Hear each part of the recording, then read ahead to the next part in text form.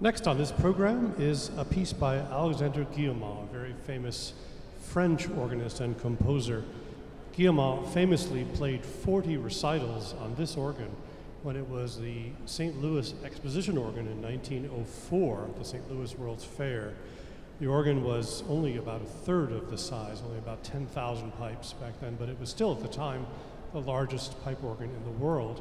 And then, of course, John Wanamaker hauled it here in 13 freight cars after purchasing and uh, uh, tripled it in size, basically. So it's almost over, just over 28,000 pipes now.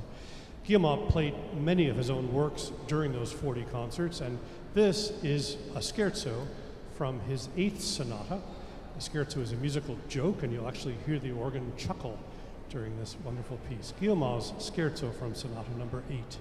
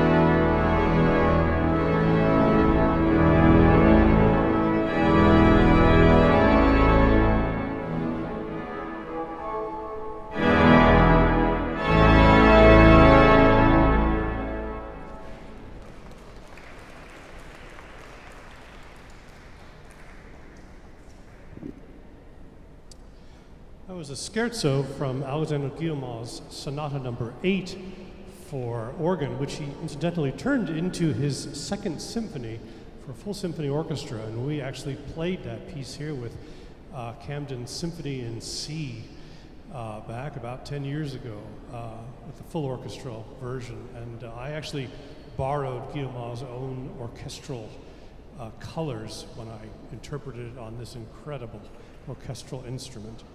Next on the program, another uh, composer and organist closely associated with this organ, the great Virgil Fox, the American uh, organ virtuoso, loved the Wanamaker organ dearly. He would train up from Baltimore, I think it was, and spend hours and hours at nighttime arranging music for this instrument, most famously his uh, Come Sweet Death arrangement.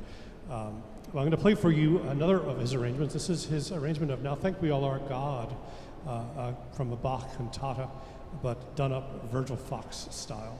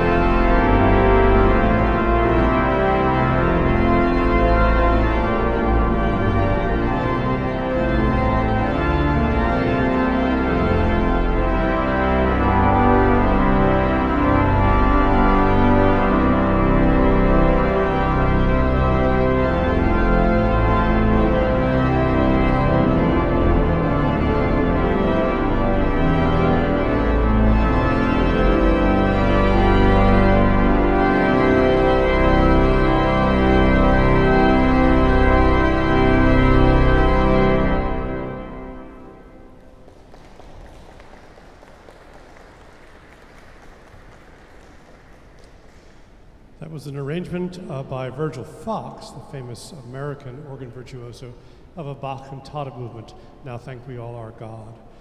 Next on this program is a piece by Marcel Dupré, another organist and composer with a very close association with this organ. Dupre was uh, under uh, the management of uh, the Wanamaker's in this country, and uh, the Wanamaker music director, Alexander Russell, uh, asked Marcel Dupre to arrange this piece. The Cortege Litany started its life as a piece for chamber ensemble. Uh, Dupre later orchestrated it for full symphony orchestra. And at the request of Alexander Russell, Dupre arranged it as an organ solo. And I've taken Dupre's full orchestral version and retranscribed it for organ based on those orchestral colors. And uh, you'll hear, uh, if you can see, you'll see me thumbing down various tunes.